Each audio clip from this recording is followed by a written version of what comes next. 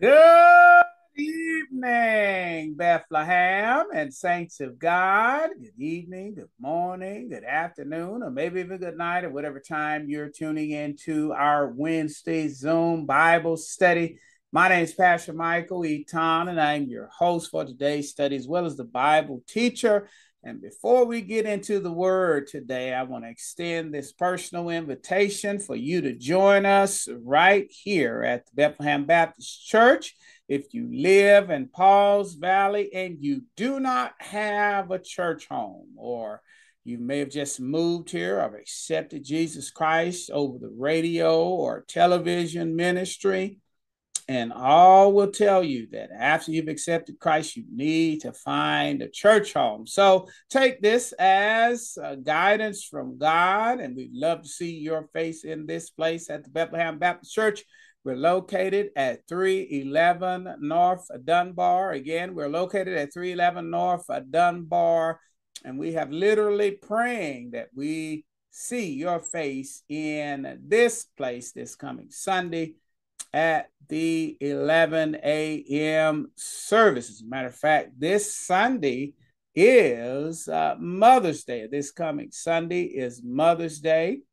And we once again want to extend you an invitation to visit us here, especially you mothers, uh, and you're not celebrated. We want to celebrate you this coming Sunday at the 11 a.m. service.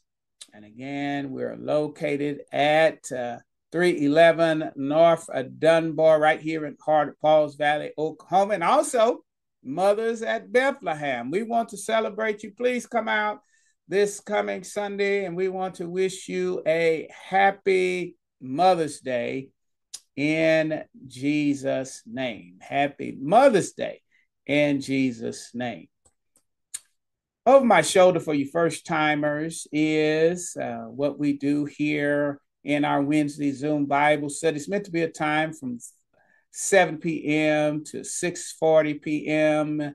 Central Standard Time. We open up with a word of prayer, announcements, the reading of the word, the introduction video, the Bible study itself, the invitation, and the benediction. So let's go ahead and open up in a word of prayer. Shall we pray, Father? We come today wanting to always be reminded that you are worthy to be praised. Hallowed uh, be thy name in Jesus' name. And even as we hallow you, we're always reminded, we always pray in the model prayer lead us not into temptation, but deliver us from all sin and evil. Please forgive us at every thought, word, or deed that we have uh, thought against you, Father. And we ask that you cleanse us and wash us, that we might be in right fellowship with you, that we might be in right relationship with you, that we may tonight, this evening, this morning, or whatever time uh, we are watching, that we may hear a word from the Lord. We Thank you, Father, for how you're going to work and move today. In Jesus' name, amen. And praise the Lord. Amen. And praise the Lord. First of all, Bethlehem, we want to come today. Sister Eaton and I want to thank you for celebrating us this last uh, Sunday uh, as we celebrated uh, 17 years here at the Bethlehem Baptist Church. Uh, we celebrated uh, 20 years in full time pastoral service, and we celebrated uh, 30 years of preaching. And you, Bethlehem, outdid yourself this last uh, Sunday. You really threw down, and it was done in a manner of excellence. And I want you to know that I noticed uh, even the fine details of what you did. And it was done uh, miraculously and marvelously. And I just want to say, and Sister I, Sister Eaton, we just want to say thank you. Thank you for how you gave. Thank you for how you serve. Thank you for all the good food. Thank you, Bethlehem Baptist Church. Thanks uh, to the district and those in our state and national conventions that said their congratulations. And, and we're just uh, so humbled that after 17 years, we can be so excited about someone's leadership after 17 years. So I just want to thank you. And uh, like I said in the text on two occasions, we want to thank God. And we want to thank God's people. And Philippians 1 and 1 says, I thank God for every thought of you. Uh, thank God and good people. So we want to thank you, Bethlehem, for serving, and we look forward to see what God is about to do here in the life of the Bethlehem Baptist Church. We thank uh, Reverend Edward Cockner for being a part of us, as well as our son and daughter, uh, brother Chad and Sister Donisha Gray and their church, the First Missionary Baptist Church. And I say that the First Missionary Baptist Church there in Madea, Oklahoma, for coming and being a part of this magnificent service. Uh, again, uh, we thank you. I feel like Gomer Pyle. He used to say, Thank you, thank you, thank you. But we just want to thank you for all that you've done in Jesus' name. We want to also remind us, Bethlehem, that Jesus Christ said that my house shall be called a house of prayer. And uh, we don't want to make it a den of thieves or having a priority that's not his priority. Um, this coming uh, Thursday, I'm going to send out the pastor's text, and I want you to fast and pray this coming Friday from 8 a.m. to 8 p.m. And uh, we want to make this place, Bethlehem, a house of prayer. Um, and I want to thank God for answering all our prayers about our anniversary service. I mean, it could have really went bad with all that rain, but after all that rain, God still allowed us to celebrate. And we thank God for answered prayers, for answered prayers. So, uh, Bethlehem and Saints of God, remember we're fasting and praying this Friday from 8 a.m. to 8 p.m. as we seek God's face, we seek God's face uh, for His uh, answered prayers. Uh, we've said that we want to add uh, 25 new members in the year of 2024. we want to reach more in 2024. And we've added three thus far since uh, we began to uh, pray and ask God to add the 25. So uh, we praise God for that. That's another great thing that happened this last Sunday. It wasn't just about me. It was about uh, God fulfilling his mission in our church. So we thank God for adding yet another. We look forward to Bethlehem to reach more in 2020 and four. continue in the series that I started uh, uh, last Wednesday. I started it last Wednesday, and uh, we talked about Samson's mother on last Wednesday, and we're going to continue in that series uh, today as we have uh, entitled this series uh, the I'm Every Woman series. I'm Every Woman series as we are going to do what the children uh, did and husbands did in Proverbs 31 28. The children arise, arise and called her blessed and said, Her husband and he praises her. And we praise our mothers because our mothers, uh, uh, many of our mothers had to be every woman. And uh, we celebrate these mothers who says that I'm every woman, as it says on this little cup, God's all in me. This is the kind of woman that is celebrated in Proverbs 31. I'm every woman because God's all in me. That's the kind of woman we want to celebrate. This month, we're going to look at the lives of women in the Bible, and we're going to learn from their victories and their mistakes. Let me say it again. We're going to learn from their victories and their mistakes because uh, some of us, uh, our mothers, uh, didn't live right. Some of us, our mothers, made some tremendous mistakes.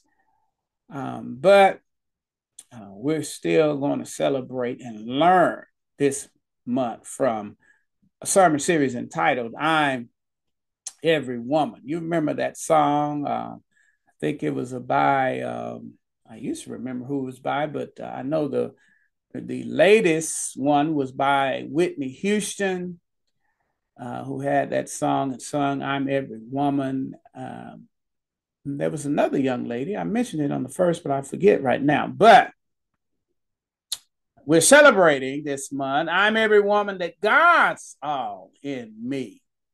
Last uh, Wednesday, if you missed this, uh, I want you to pick this up. We'll go to our Facebook page, and there's a link at the top of there for our podcast. You can listen or our YouTube uh, at Hear God's Word at Bethlehem.com. And you can go there and uh, click the YouTube, and you can find this message, uh, any message we preach. Uh, Samson's mother, she was misidentified. We didn't know who she was. We're so glad that you don't have to be famous, that you don't have to be an Instagram sensation, a content creator for God to know who you are. And we see how God knew who she was. Today we're going to look at Eve, who was misled in Genesis chapter 3. We're going to look at this uh, coming Sunday for Mother's Day. We're going to talk about Mary, the miracle. If you had a mother, your mother to you was a miracle. We're going to talk about Hannah in misery. Hannah became a mother, but uh, she went through some misery before she would get her victory. I want to encourage those who may be going uh, through misery right now, but I believe by faith, God says you can have your victory. We're going to talk about uh, uh, Mary Magdalene, and we're going to talk about Hagar, who was mistreated, and Elizabeth, who was motherless. God worked in mighty and awesome ways in the lives of these women, and this is why they're every woman, because God was all in them. In Jesus' name. We're going to look at again tonight. Eve misled. Eve misled uh, Genesis chapter 3, verse 1 through 7. Let me read that in hearing. It says, Now the serpent was more crafty than any other wild animal um, the Lord God had made. He said to the woman, uh, Did God really say you must eat from any tree, or you must not eat from any tree in the garden? The woman said to the serpent, We may eat uh, fruit from the trees in the garden, but God did not say, You must not eat fruit from the tree that is in the middle of the garden and you must not touch it, or you will die. You will not certainly die, Satan said to the woman. For God knows that when you eat from it, your eyes will be open and you will be like God, knowing good and evil. The woman saw the fruit of the tree was good for food and pleasing to the eye, and also desirable for gaining wisdom. She took some and ate it.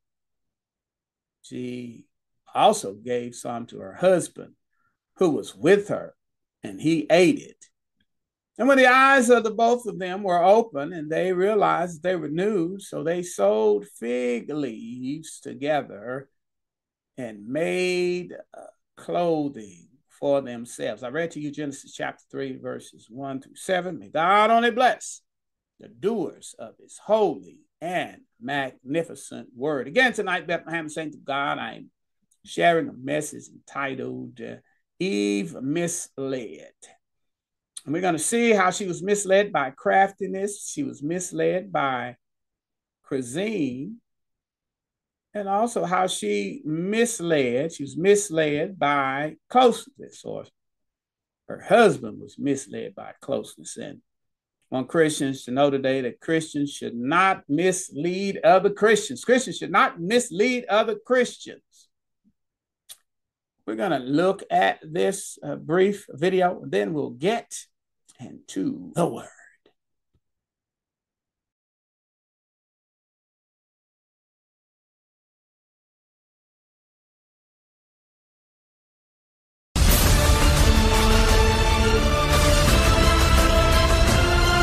Now the serpent was more crafty than any of the wild animals the Lord God had made.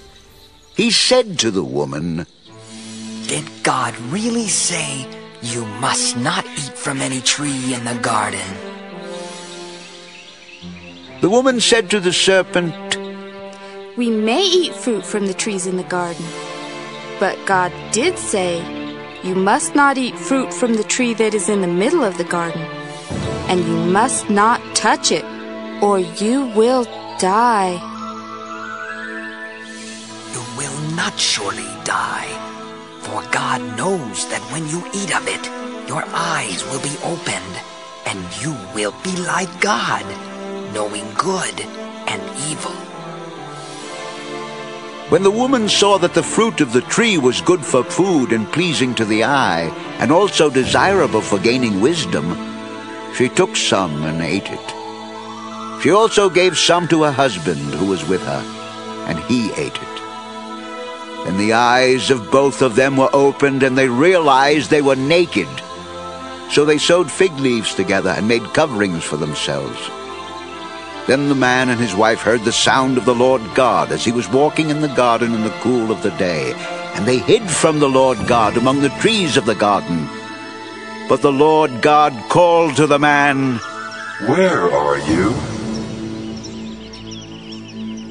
I heard you in the garden, and I was afraid because I was naked, so I hid.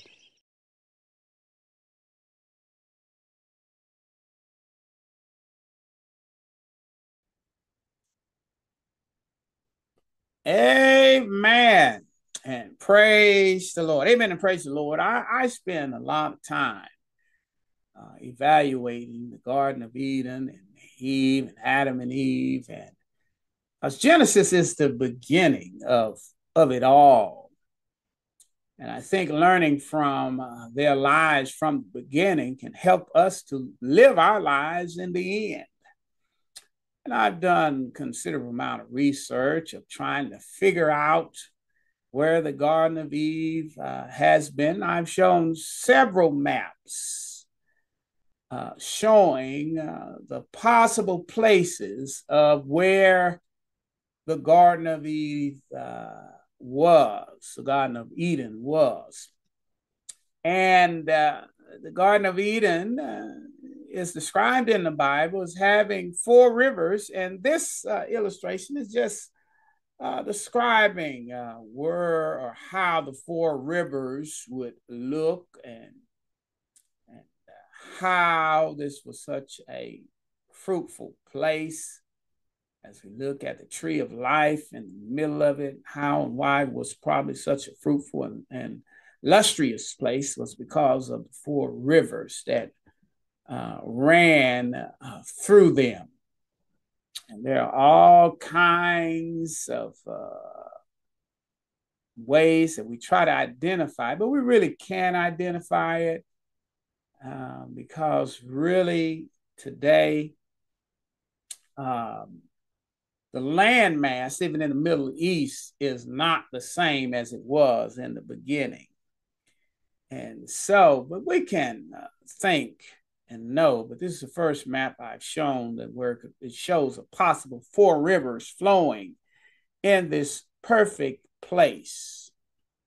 And we do believe in history it was uh, in the fertile on or in the fertile crescent. We learned that in our geography classes, the beginning of civilization. Even uh, secular people believed it began there in uh, what they call the fertile crescent and God calls it the Garden of Eden. So uh, this is how it could have possibly looked. But in this perfect place, uh, we had a crafty serpent. And the woman was misled by his uh, craftiness. It says, Now the serpent is more crafty than any of the wild animals the Lord had made. And even today, that devil is crafty. He is crafty. As a matter of fact, even in modern day times, uh, I look at my spiritual life as being in a chess match with the devil on a daily basis. And any of you know anything about chess, it's about strategy. It's about seeing uh, your moves, and and and many of the masters can name their uh, their plan beforehand and start and know uh, uh, ten moves down about what they're going to do and how they're going to beat you. And that devil is still crafty today. And I, I see myself on a daily basis like the chess match is being set up but the only way that I see myself uh, on that chess match with the devil is that I start out with the devil having me in check. That's how crafty he is. He is a master. And on a daily basis, whether you realize it or not, uh, when you start your chess game with the devil, you start your match in check. He's one move away from checkmate. And the only way you can beat the devil is not by being crafty. The only way you can beat the devil is by being holy. Woo! Let me say that again. Because you can't out manipulate the devil. He's been doing this thing since the beginning. If you think you can out manipulate the devil, you are sadly uh, misled. Hello, like Eve was misled in the garden. You you're sadly misled um, because he's too crafty. The only thing that the devil can't beat you in. This is the strategy that I use in my uh, uh, in my chess match against the devil, and this is the strategy of holiness. Woo! Let me say it again. It is the strategy of holiness because that move, uh, that plan, um, is the only way you can win. Because Eve, she was misled because he was crafty. He was crafty. Uh, see, Matthew chapter 10 tells us about this uh, strategy match against the devil. He, he says, Behold, I'm sending you out like sheep among wolves. Therefore, be as shrewd or wise as the serpent and as innocent as dove. You see, that innocence is the holiness. See, I look at this chessboard every morning and I see what see it for what it is. I'm shrewd enough to see that the devil has me in check on a daily basis. Ah, and the only way I can beat him uh, is by being innocent as a dove. That means to live holy. Hello, somebody. Let me say that again. That is to live holy. That's the only way you can beat the devil in this chess match against him on a daily basis. Be wise enough to know that you can't out, outplay him in this game, but you can outlive him because he can't live holy. Hello, somebody. That's one thing he can't do that you can do. He can't live holy. Hello, somebody. And, if you're living holy, that means you're being innocent. Hello, somebody. You you recognize and you see the board, you see the people that the devil has on your board, Ah, but you're innocent towards them. You, you, you, you, you're innocent towards them. Hello, somebody. You're innocent towards anybody that comes against you. When they come against you, you don't cuss them out like the devil wants you to have. And he said, checkmate. Um, but you pray for them. Bless those who curse you. Pray for those that uh, that, that that misused you. You see, um, the devil has you in check in all kind of ways because he knows your weakness. He knows you've got an anger problem, so he sends folk on that chessboard to trigger your anger. Hello, somebody. He knows that you have a problem with lust, so he noticed the women that you lust after and he sends those kind of women to you on a daily basis. Uh, and if you lust after them, whether it's through sight or through your mind, or you physically fall or make a choice, then he's got you. in. He's got you in checkmate. Hello, somebody. He knows. See, one of the things I noticed about Sister Eaton and most people who work in um, uh, criminal background histories is they have a superpower. I call it a superpower. They have a, a superpower, and it's just the ability to observe what's going on. Woo! Uh, and, and, most of them uh, they do that you see and they and they sit at places you see you, most uh, law enforcement people won't sit to their back to the door they always sit uh, facing the door because they, they have to see what's going on. They they don't a lot of them don't park uh, their cars in uh, head first. They back in because they want to see what's going on. See, the devil Ah, has a superpower and he can see the weaknesses that you have. And he's been noticing you not only before you got saved, uh, but after you got saved. And, and he knows what you like. He's crafty. He, he knows what you'll fall for. If, if, if you have a gambling problem, he knows uh, how to get you to the casino. Uh, if, if you have a lust problem, he knows uh, how to put women women or men in places where you can notice them. And that's how he's so crafty. He serves, and that's why I say every Christian starts their, their uh, chess match with the devil on a daily basis in check because that's how smart he is. He knows your every weakness, uh, and he's going to give you on a daily basis what you want. Woo! Let me say it again. He's going to give you on a daily basis. That's how crafty he is. He's been noticing you. Hello, someone. And we all know we have weaknesses. You know, for me, anger was a big weakness until God strengthened it.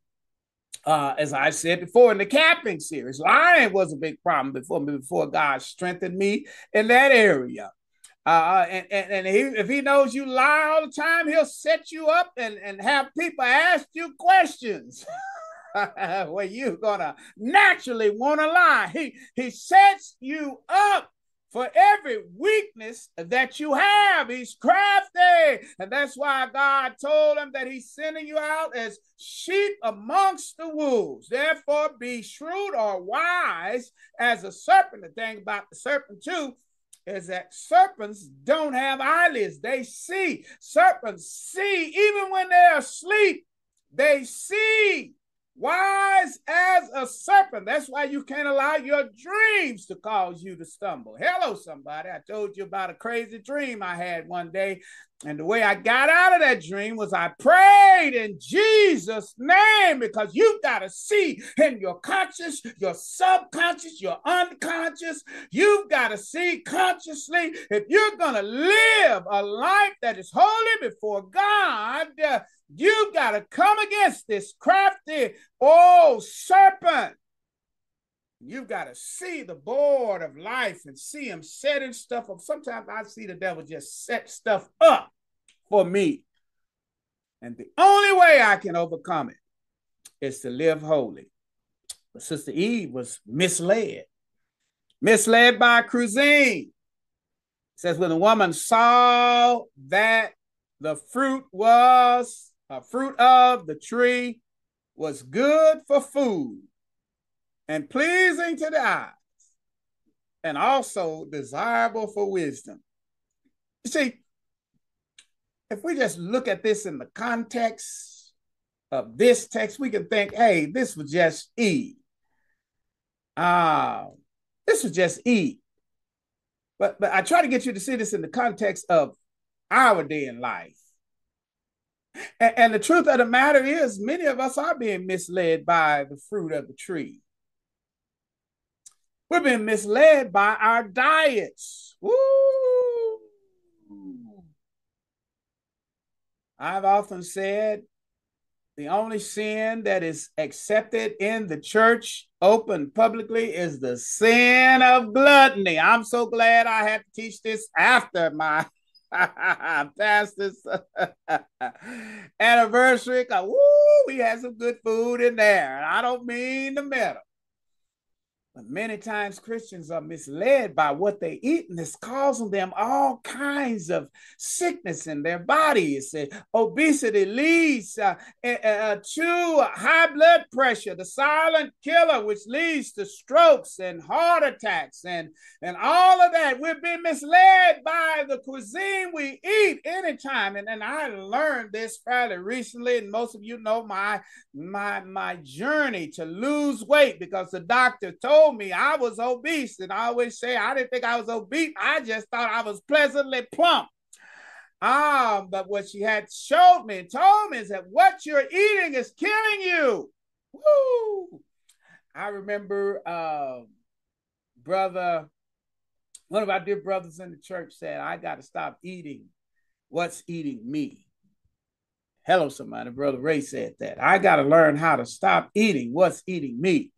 And, and, and oh, Sister Eve, ah, when she fell to that crafty servant, she was misled by the cuisine. And she saw that the fruit was good for food. Woo! Hey, it, it, this is good for food. This is practical. I, you know, preacher, I'm eating. It's good for food. It's practical. I always say, Everything that look good to you ain't good for you. And even, and I used to wonder why nutritionists sometimes didn't even want people diabetically to eat fruit because fruit is supposed to be healthy. They say uh, it's according to how bad you are, how diabetical you are. Uh, well, they don't even want you to eat fruit because it's too sweet. Anything too sweet for you. It's probably not going to be good for you. Woo! I mean, not to meddle, but I can meddle now. That's some sweet stuff at Bethlehem when it comes to that Kool-Aid. Woo! Know that Bethlehem tea? Woo! I don't even want to know how much sugar is in it. many times anything too sweet, that that goes for not just food, but people. My wife just asked me this morning about a book I wrote and I talk about in my book, uh, Mr. Charismatic. And I say, if he's telling you everything you want to hear, everything you dream to hear, everything that you uh, wanted to know to hear, then nine times out of 10, he's not from the Lord. Hello, somebody. If he agrees with everything you've got to say, nine times out of 10, he's not from the Lord. He's too sweet. Woo! And, and that too sweet and cuisine will kill you. Hello, somebody. So some folk are having their limbs cut off because of the too sweetness that they uh, decide not to not to change their diet.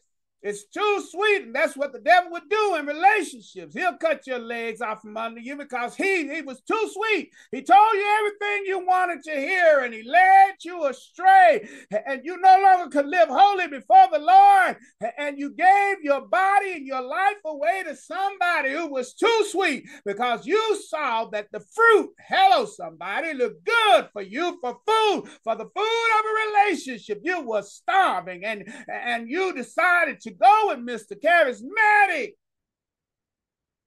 Hello, somebody, because he was pleasing to the eyes. It says in the text as well, as well, and also the, the, the desirable of gaining wisdom. He was smart. Almost every woman you want to know always say they want a man that can teach them something.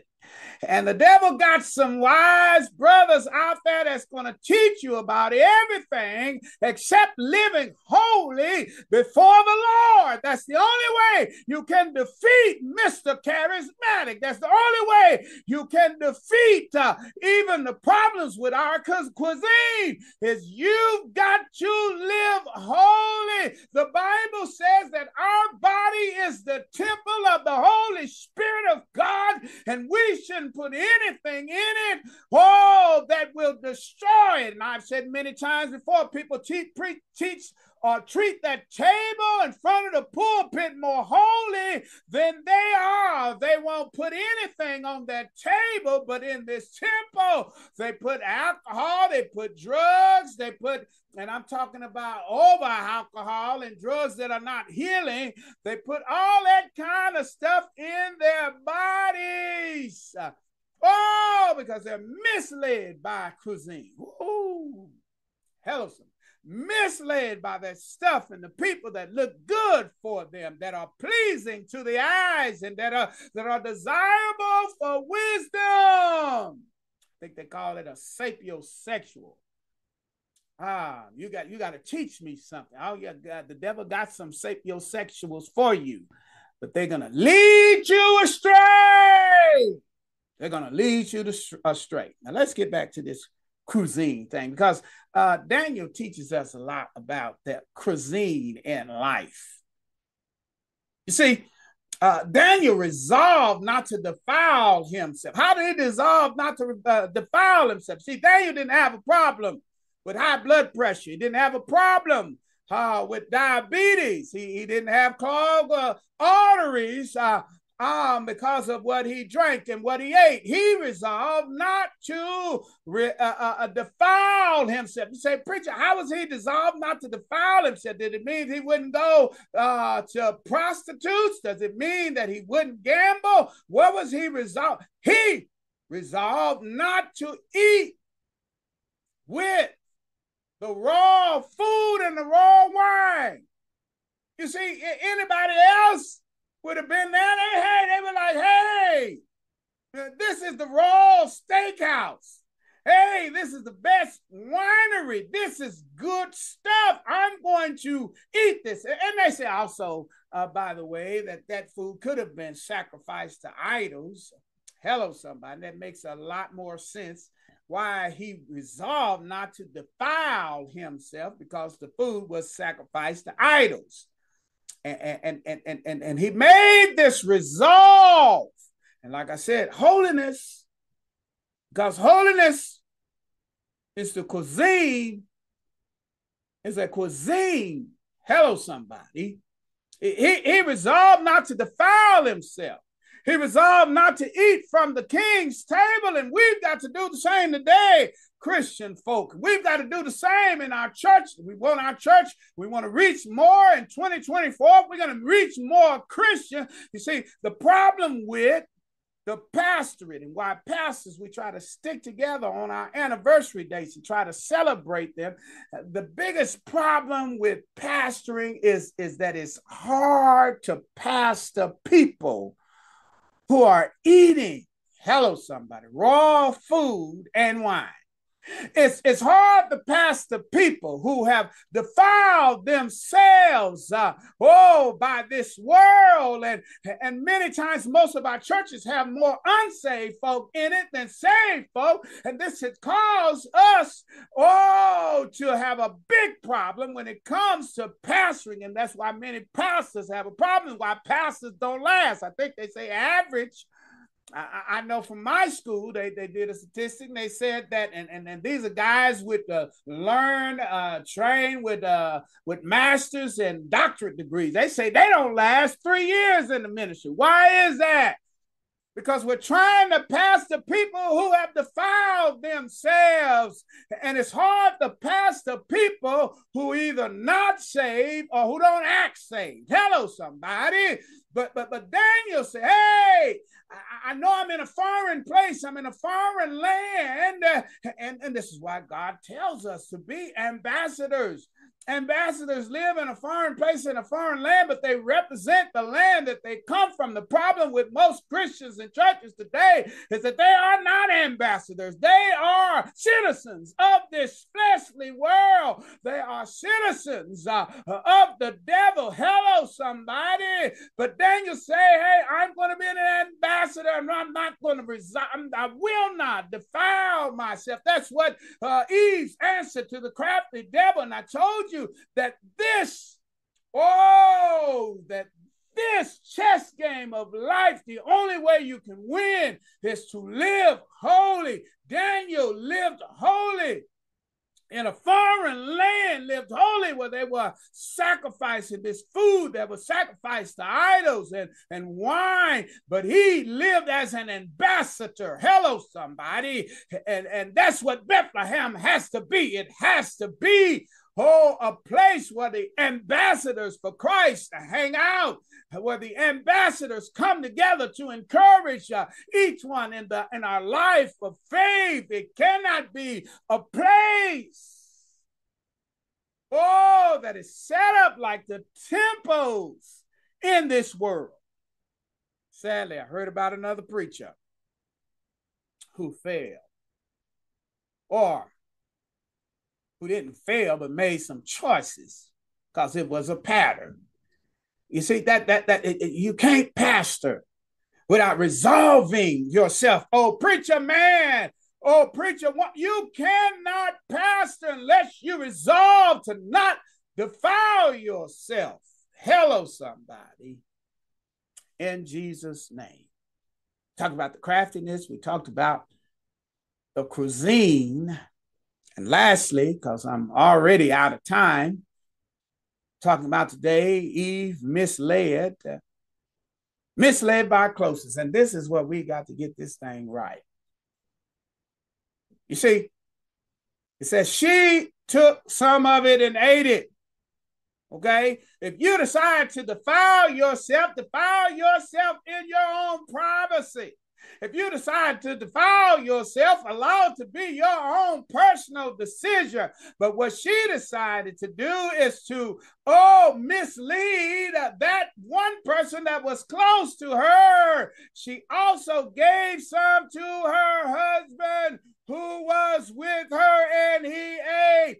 Ah, he was misled by closeness. That's why you can never allow anybody to be closer to you than God. Now, you've been around and heard my ministry for 17 years, and I'm high on God and family.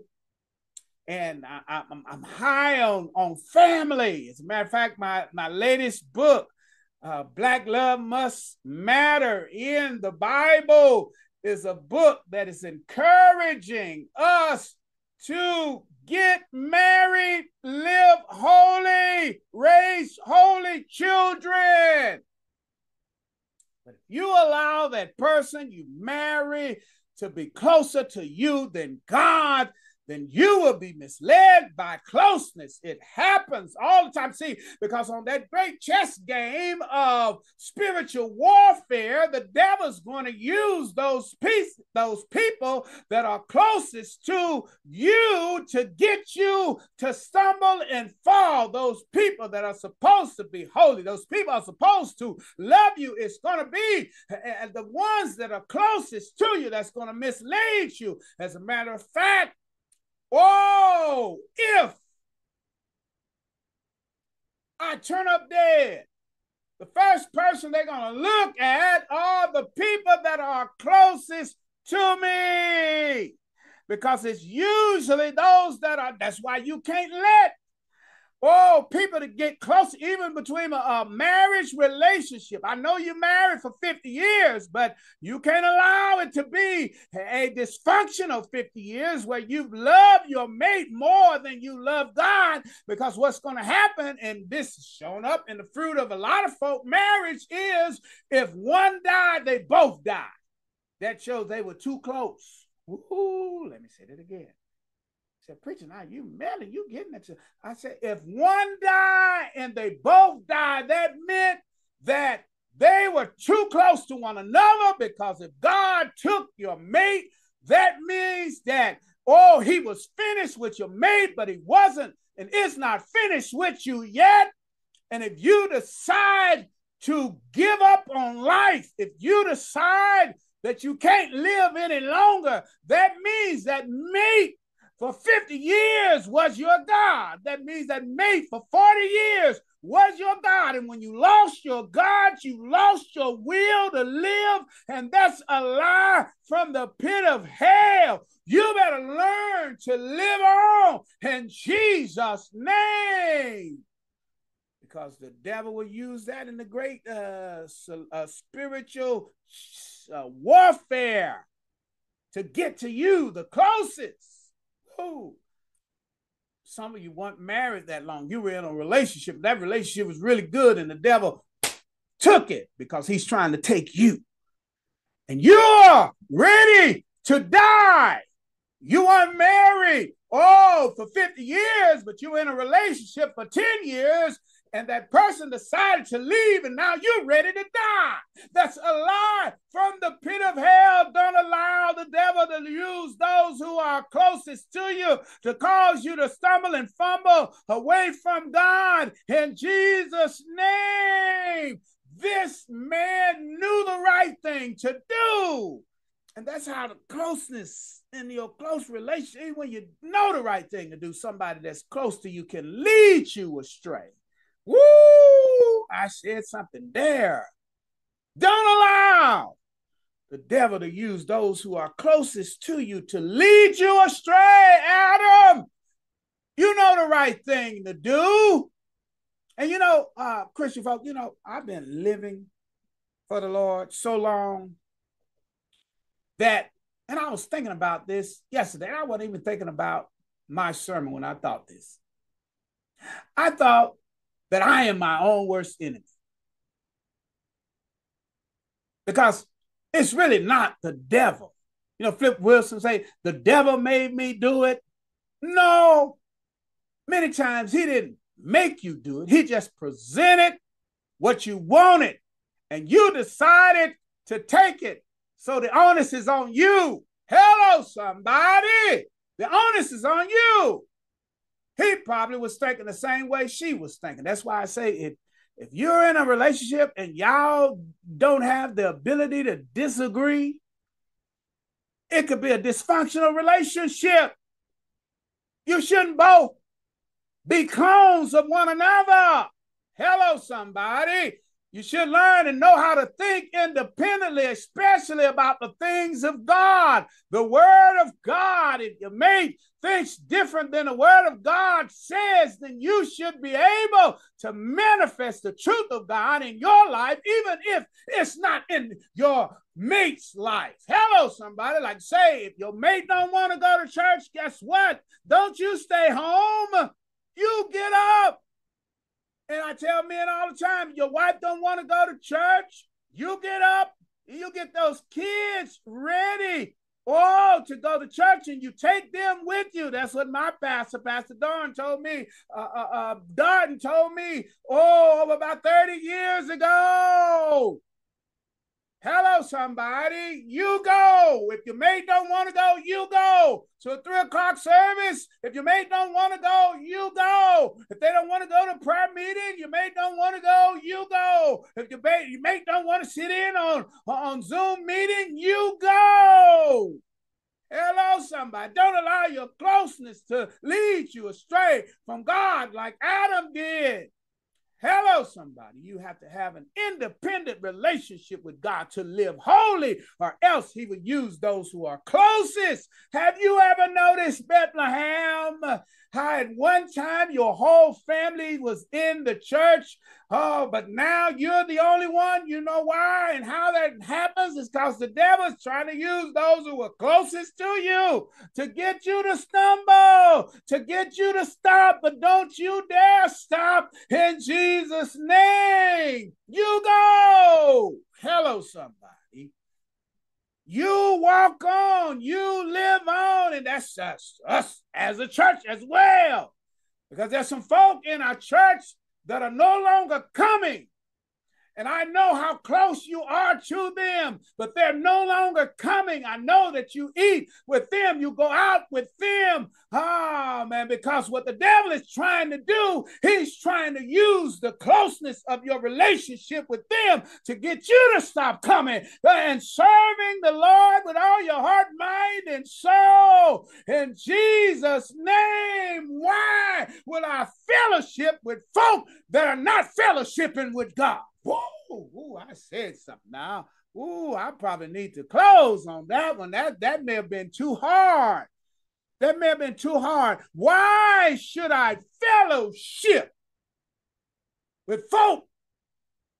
And, and we ain't talking about um, building a bridge. These folk were in the church.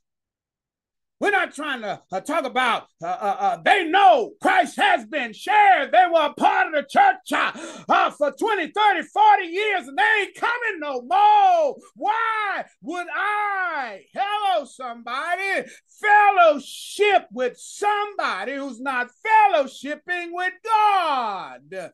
Hello, somebody. They know the word like you know, but they're living unholy and ungodly. And the devil is trying to use those who are uh, closest to you uh, to stop the real growth of the Bethlehem Baptist Church. In Jesus' name, we're going to reach more in 2024. We got to stop allowing those who are the closest to us to lead us astray, to take up our time, talents, and energies. Hello, somebody. I could really get deeper, but I better close out. I better close out. I, I feel I want to say something here, but it's it may uh, need to be said in private. Um, but I've already said it. I just want to say it in a, another way or a plainer way, but I'm not feeling led to say it because I've said it. Don't allow those who are close to you. I don't care if you've been friend 30, 40, 50, years and even friends in the church 30, 40, 50 years. Don't allow them to lead you astray. And don't spend time with them. Whoo! And that's why I say uh, many times people treat the church like it is a social club or a country club Um, it's not a country club. The church is really supposed to be exclusive. I don't know where we get it should be filled with thousands of people, tens of thousands of people. The church is an exclusive group. And the people are there are supposed to be Christians. A Christian means Christ like. People who are living Christ like are supposed to go there and be encouraged and inspired And God has really rearranged and changed the life of our church, and He's trying to make it a place of, for Christians. And we must be in close relationship with Christians. Because if not, the devil is going to use or try to use your close. Some of you may think, yeah, well, I'm strong enough. I can be around them. They're not going to lead me astray. Well, you know what? I don't think I'm strong enough. Ooh. Say, preacher, but you've been living for the Lord most of your life since you were 19. Oh, no, I don't think I'm strong enough. No. But as the Bible said, pride comes before the fall. Woo! No, no, no, I don't think I'm strong enough for anything. As a matter of fact, I told you on my spiritual warfare, uh, the chessboard of it, I know when I wake up, my life is already in check. Hello, somebody. And I know the only way that I can win is to live holy. And the only and, and, and the best way that I can live holy is only be around folk who live holy. And I'm not talking about evangelism and building the bridge and all that. No, I'm talking about there's some folk, the bridge has already been built, the whole city been built, and they still not living holy for the Lord.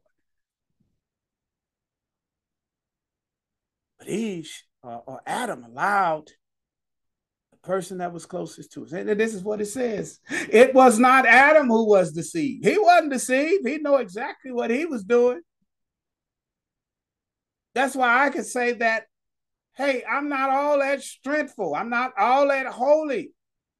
I'm not all that strong. Because Adam wasn't deceived. He knew what he was doing. He was influenced by the closeness of his wife. Don't allow your wife to get closer to you than God. Woo.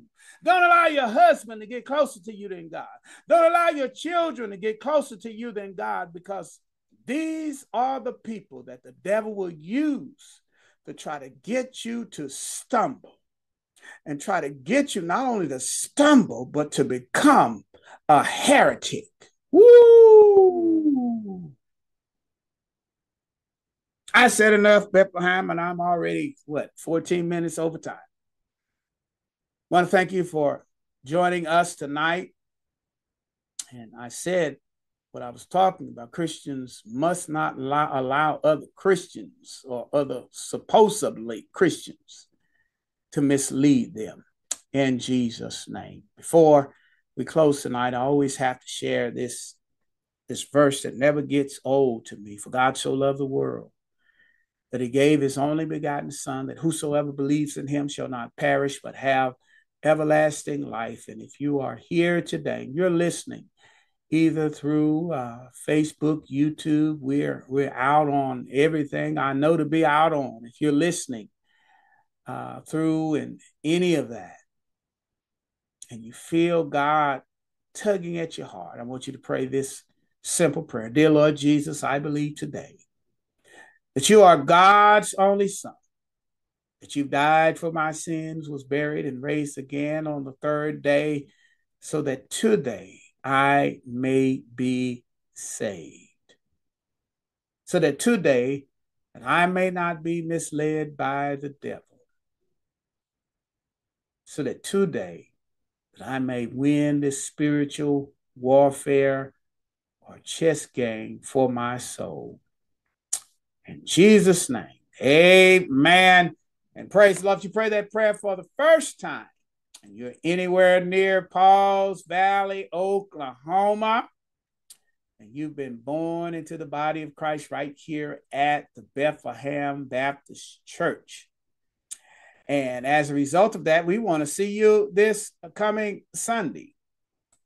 If you pray that prayer for the first time, we want to see you this coming Sunday. And it just happens to be Mother's Day. So come on out and bring your mothers with you. Tell her, hey, we want to celebrate you today go to the Bethlehem Baptist Church and we will accept you when I finish preaching. Come down and let me know that you pray to accept Jesus Christ, and we will accept you into the body of Christ right here at the Bethlehem Baptist Church. We are located at 311 North Dunbar. Again, we're located at 311 North Dunbar, and we'd love to see your face in the place this coming Sunday once again, which is Mother's Day. Bethlehem, we want to see you and all the mothers this coming Mother's Day. We're so excited uh, to celebrate mothers. And once again, Bethlehem, we want to thank you for what you did last Sunday um, and how you celebrated us. And we thank God and good people. Shall we pray? Father God, we come right now. Just want to thank you and to praise you and to glorify your holy name. Father God, put your hedge of protection around us. Keep us safe from harm and danger until we meet again. And the people of God said, Amen. And praise the Lord, Bethlehem. You are dismissed in Jesus' name.